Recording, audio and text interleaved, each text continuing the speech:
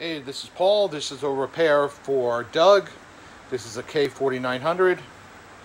Came into me with intermittent vertical collapse.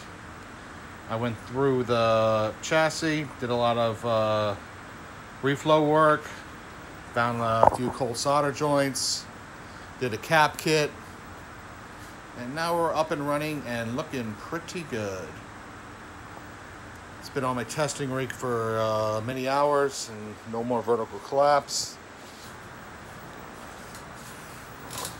All new caps. When I have intermittent vertical collapse, one thing I like to do is tap on it and you gotta watch where you touch. That'll zap you.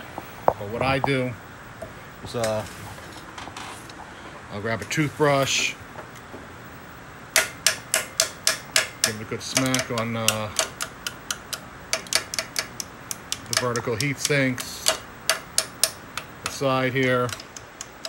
See if anything uh, twitches on the, uh, the screen. And the screen is rock solid right now.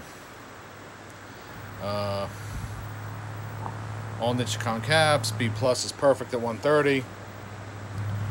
Um, this one was modded a little bit. It's got a poly cap right there on the hot.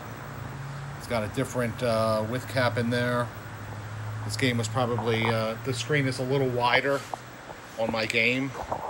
So this is probably for a specific game. Um, so they make the screen a little wider. Um, besides that, everything is perfect. I'll box this guy up and send it back. See ya.